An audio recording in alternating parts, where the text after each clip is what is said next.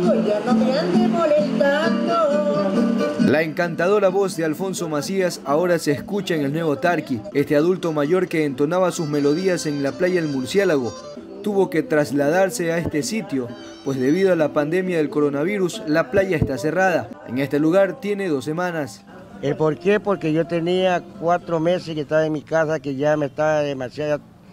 Eh, me tuvieron que llevarme del médico porque ya estaba demasiado estresado. Cuatro meses y yo estaba, digamos que me cogió en primer lugar, que ya acabé paludismo. En segundo lugar, eh, estaba sufriendo de la presión que me, ya, ya la tenía a 190. Fue la cuarentena por el COVID-19 que lo dejó sin comida y sin medicinas para su esposa. Entonces se vio obligado a salir a ganarse la vida cantando, así como lo ha hecho durante toda su vida. Primero en su natal Santa Ana y luego en el malecón escénico de la playa El Murciélago, donde ha estado por más de 30 años. Eso me atrajo. Ahora en especialmente, bueno, digamos, ya la comida que teníamos ya se nos había acabado.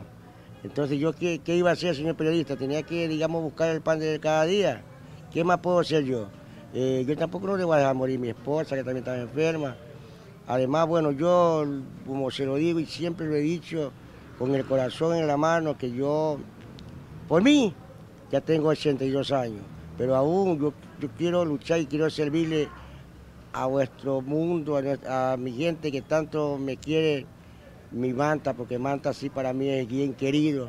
Eh, yo quiero, digamos, luchar por mi mujer, porque ella todavía, todavía quiero darle el, pan de cada día, quiero darle sus, sus remedios que ella requiere, entonces por eso lucharé yo trabajando. En el lugar se queda dos o tres horas, aunque tiene ganas de quedarse más tiempo. Su cuerpo y su voz cansada no le permiten y se lo cobran por las noches, esas en las que los dolores reumáticos se juntan con la preocupación y lo desvelan, porque no sabe cómo pagar cinco meses de agua y luz que debe, gastos que cubría con el bono de desarrollo humano, pero que hace dos años se lo quitaron. Entonces, ¿cómo puedo recrear esa deuda?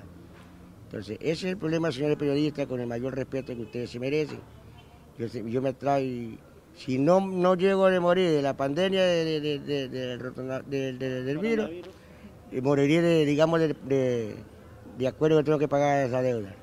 Luis Rojas, administrador del Parque Comercial Nuevo Tarqui en Manta, indicó que ellos han sido flexibles porque entienden la situación y lo dejan trabajar. Hombre que por historia, por derecho, merece otra atención por parte de las autoridades locales, provinciales, nacionales efectivamente ha venido y se ha instalado en uno de los bloques de acá del Parque Comercial Nuevo Tarqui. Eh, eh, hemos tratado de, contactar con instituciones para que se hagan cargo, hemos conocido que no tiene eh, ninguna ayuda. Ahora el adulto mayor que tiene problemas de ceguera está a la espera y a la buena voluntad de los ciudadanos que circulan a diario por el Nuevo Tarqui.